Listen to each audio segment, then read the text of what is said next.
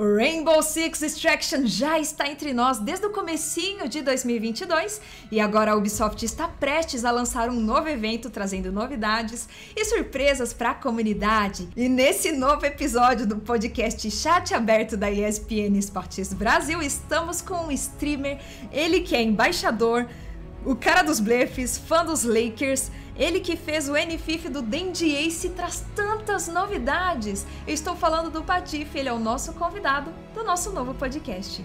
Seja bem-vindo, Patife. Sabe, gente, muito obrigado. Eu gostei da descrição, foi boa. é um prazer estar aqui. E tudo isso você vai ouvir agora no novo episódio do Chat Aberto, depois da vinheta.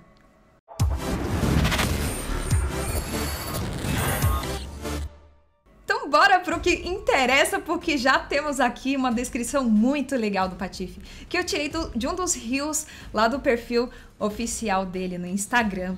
E vamos lá, você é o cara dos blefes. Explica um pouquinho, Patife. A gente já começa com o seu nome de Patife, né? Eu acho que muitas pessoas te perguntam o porquê desse nome, né? É, eu usava. O Patife eu usava desde pequenininho, né? Desde, desde que eu comecei a jogar videogame, há 20 e tantos anos atrás. aí eu usava já e eu só revivi ele, né? Porque durante um pedaço da minha vida ele só desapareceu e quando eu fui, é, fui, fui, produzir conteúdo pra internet, aí eu tinha que escolher um nome e, e aí pegava bem, sabe? É uma palavra que tinha caído em desuso, então, pô, é, foi uma ideia assim e eu gostei, ficou legal. Cara, descobri por causa do poker, né? Eu tenho muitos, muitos, muitos, muitas faces da internet aí, e uma das coisas que eu, que eu gosto muito é o poker também. E a gente brincou com isso, mas eu não sou muito de blefar no poker, não. Então, no final das contas, foi só pela gracinha.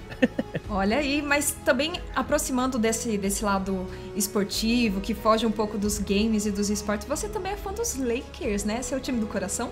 É, sou apaixonado por, por NBA e o Lakers desde quando eu era muito novinho, eu já era bem apaixonado, assim. Então, pô, tive a chance, uhum. agora, depois de, de um tempo de acompanhar, assistir uns jogos lá e tal. Então, putz, é muito da hora. É, é, é eu gosto muito do, do basquete em si. E, pô, e o Lakers sempre foi um. Eu sempre. Eu nunca acompanhei quando era mais novo. Eu gostava mais por causa do videogame mesmo, assim. Então era um time já muito forte desde sempre. Então eu pegava e fui pegando esse carinho. E agora que eu comecei, de fato, há alguns anos a acompanhar a NBA mais, mais de perto e tudo. Uh, aí, pô, não, não, tive nem dúvida e, e, é muito legal, é muito emocionante torcer pelo Lakers, eu, eu curto bastante.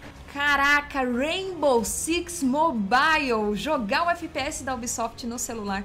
Como que tem sido essa experiência para você que também já trouxe esses conteúdos e essas prévias no seu canal, Patife?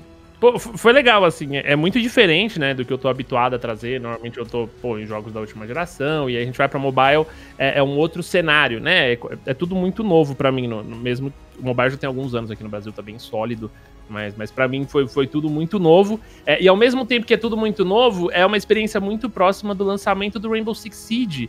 Então, eu, eu me senti muito em casa jogando, sabe? Tipo, é, trouxe uma lembrança muito legal ali daquele, daquele comecinho que tudo era muito novidade, que a gente tava aprendendo o que os operadores faziam, os mapas. Então, é, pô, muito massa e, e, alcança um público gigantesco, né? O mobile tem muita, tem muito seguidor, tem muito, tem muito fanático por jogo mobile. É, o, o, Brasil ele gosta muito de jogo de tiro, assim. A gente, pô, tem títulos memoráveis, né? No CS, no Rainbow Six Siege mesmo, a gente dominou o cenário por, por muito tempo.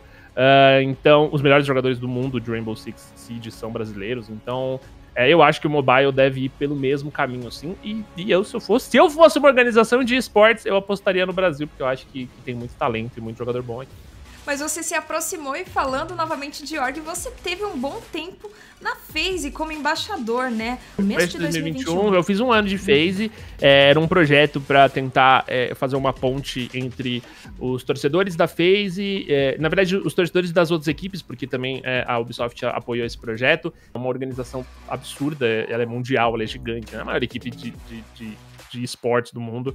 Então, eu vi muita coisa muito legal, aprendi muito. Foi uma, foi uma experiência que com certeza vai me marcar pra vida inteira aí. Conta pra gente, pra quem tá assistindo, o que, que a pessoa pode estar tá esperando dessa novidade, do novo evento de Rainbow Six Extraction? Então, o, o Extraction é aquele, né, é, é uma pegada diferente do, do, Rainbow Six tradicional, porque ele não é competitivo, né, ele é cooperativo. Então, a, a melhor experiência que você tem no Extraction é chamar os seus amigos para jogar. Então, ele adiciona, ele adiciona, dentro da dificuldade do Extraction, que ele por base é difícil, é, ele adiciona também um, um fator de de imprevisibilidade, sabe? De tempo, de pressão. Então você não pode ficar tanto tempo exposto no mapa, você tem que fazer um, um negócio mais planejado é, e mais rápido, né? Então você tem que montar o plano com seu time, com seus amigos, é, focar nos objetivos certos e fazer ele muito rápido. Então isso, isso mudou um pouquinho a dinâmica do jogo. E quem não jogou Extraction tem que jogar. E o evento vai vir para dar mais conteúdo ainda. Então é uma boa oportunidade aí pra galera.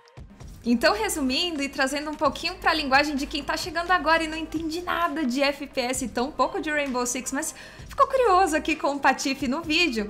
O Rainbow Six Extraction é um jogo à parte dentro do universo de Rainbow Six Siege, né? Eu vou até pedir para você me corrigir, Patife, se eu falar alguma coisa fora da curva, mas é um modo que você joga entre até três pessoas, né? Como você bem comentou.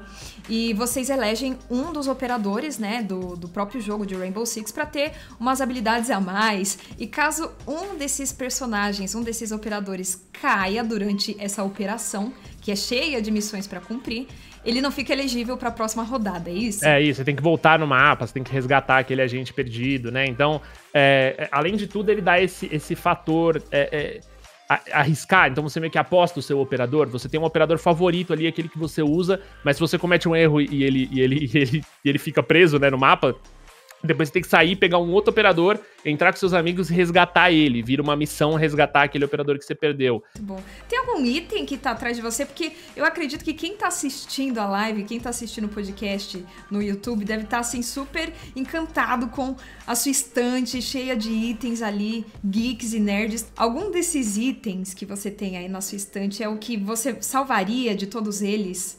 Que é o seu xodó, uh, o seu favorito? Nossa, difícil. Nossa, bem difícil. Assim, os, os, que eu destacaria que eu gosto muito, né, uhum. hoje, é, é, é, isso aqui é uma bola da NBA personalizada Uau. que o NBA me deu. É bem legal, tem, tem um grafite meu e tudo, eu gosto muito uhum. dela. Uh, aqui tem a estátua de colecionador do Horizon, que, é muito maravilhosa, ela é muito grande, é uma multigigante. E desse lado tem meu troféu do. do aqui perto do microfone tem meu troféu de poker. Foi um torneio presencial que eu tive na BSOP e eu ganhei. Foi uma loucura, você... foi uma Caraca. loucura. Porque assim, eu jogo, eu jogo poker desde muito novo, assim, sempre foi muito para brincar. E aí um dia eu recebi o um convite para ir lá na BSOP e tal, pra, pra, pra brincar num torneio, tudo. Era, era um torneio. É, é... Como quem não quer nada. É, então, tipo, eu fui meio que pra conhecer. Eu nunca tinha jogado com um dealer numa mesa. Era um negócio meio maluco, assim, para mim. Eu jogava com meus amigos aqui, né? É, de boa, sem valer nada. Então foi muito legal, porque, tipo, eu fui ganhando, ganhando, ganhando. Eu fiquei, tipo, líder o torneio inteiro. E aí, no final, meio que só precisei cadenciar o jogo, assim, e ganhei. Tipo, isso é, é, é foi muito bacana, assim, foi muito marcante para mim, porque a emoção do, do, presencial foi o primeiro torneio presencial que eu joguei, tipo, eu ganhei. E aí hoje eu jogo mais o online, assim, né? Até porque teve a pandemia também, tudo. Então, mas, mas pô, mas foi muito maneiro. Então eu, eu, eu, tenho essa memória. Teve essa época que eu era mais de competir em tudo. Então, eh, nessa mesma época do poker, eu ganhei torneio de UFC no videogame, eu ganhei o torneio de multijogos que teve o Legend. Assim, né, né, era uma época que eu gostava muito de competir. Hoje eu tô mais quietinho. Eu tive umas histórias legais. Joguei campeonato de FIFA. Fui pra Paris que eu ganhei um campeonato de FIFA. Nada a ver. Eu sou horrível no FIFA e ganhei o campeonato. Tem umas histórias assim legal. Eu gosto. É, é, sempre legal competir, né? Mas não é muito minha praia, mas eu gosto bastante. Então, dia mas se, mas se tem e você tá, você faz. Você faz super eu bem. Eu me esforço, me esforço. Eu tento, tento, uhum. tento. Eu tento bastante. Normalmente não dá, mas eu tento, então tá bom.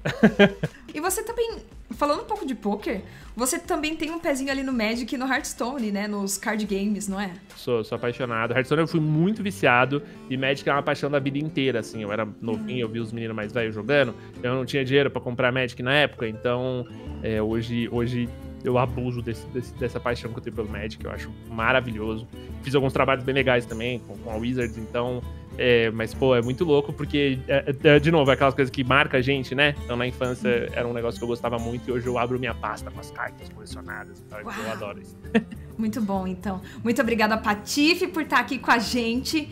É muito legal conhecer mais coisas sobre a sua vida, sobre a sua história e principalmente essas, esse seu lado mais competitivo, que você é muito talentoso nos jogos que você se aventura. Já foi, eu já eu era mais eu era mais, eu era mais tryhard, hoje em dia eu tô mais, eu tô mais devagar assim. Ah, muito obrigado, eu adorei, foi um papo muito gostoso e espero que o pessoal tenha curtido também. E pode me chamar sempre. Tô sempre por aqui, a gente para um pouquinho, bate o papo, eu acho que que é legal para todo mundo, né? Eu me divirto muito. Obrigado, obrigado mesmo.